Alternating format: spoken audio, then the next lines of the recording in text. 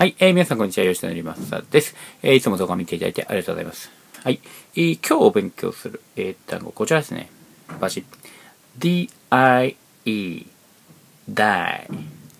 die、えー、死ぬとか、えー、亡くなるというね、意味でございます。これもね、超有名なね、えー、単語でございますので、皆さんもご存知かなとは思いますけれども、発音いってみましょう。die, die, die, die あ、これ簡単ですね。die die die えー、he died 300 years ago 彼は300年前に死んだ died ですね過去形はいえー、まあそうですね。な、亡くなられたというね、えー、単語。これもね、え、使うんじゃないかと思います。ということで、えー、今日勉強した。英単語は die, die、え、死ぬ、亡くなるでございました。See you next.